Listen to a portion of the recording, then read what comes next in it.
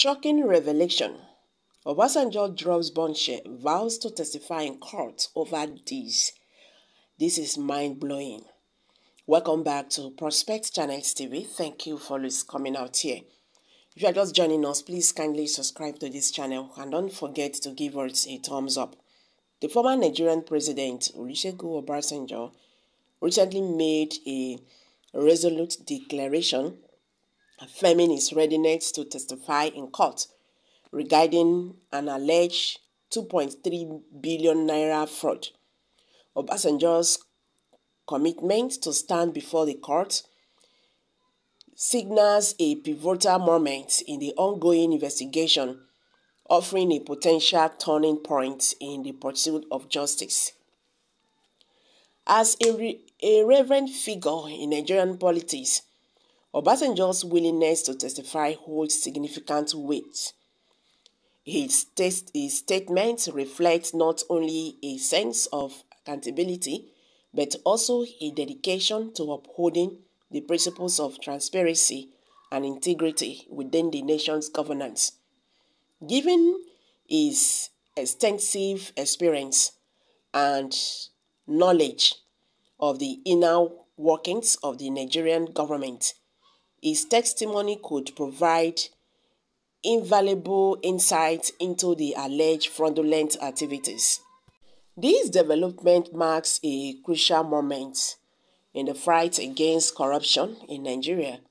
The readiness of such a prominent figure to engage with the legal process demonstrates the necessity and strength of the country's judiciary system it highlights the importance of individuals regardless of their their their their structure, their structure, their status being held accountable for their actions, thereby fostering a culture of accountability and trust among citizens. Obasanjo's offers to testify also serves as a catalyst for ensuring that justice prevails.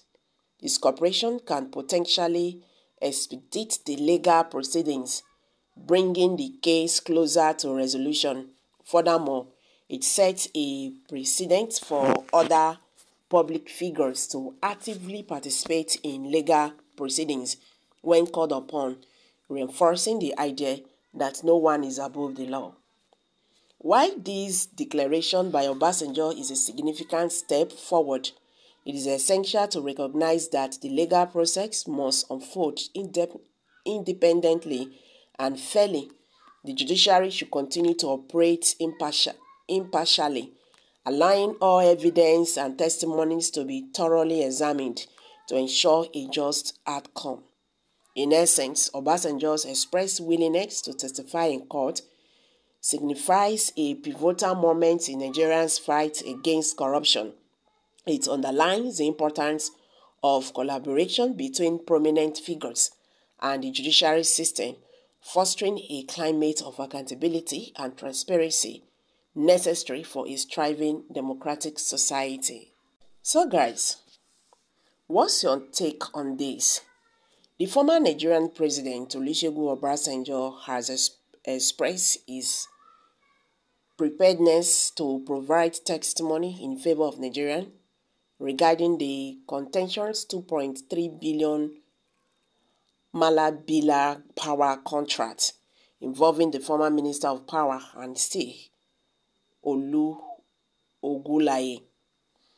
The dispute has unfolded at the International Chamber of Commerce ICC in Paris, France, where Sunrise Power and Nigeria find themselves at odds over the alleged breach of contract Sunrise Power contends that it was granted a $6 billion contract to construct, operate, and transfer in May 2003 under the administration of the former President Olusegun Obasanjo. Accusing the federal government of Nigeria of repudiating the agreement, the Sunrise Power is seeking compensation amounting to 2.3 billion. The company has said that it has already invested millions of dollars in financial and legal consultants before the contract was abandoned.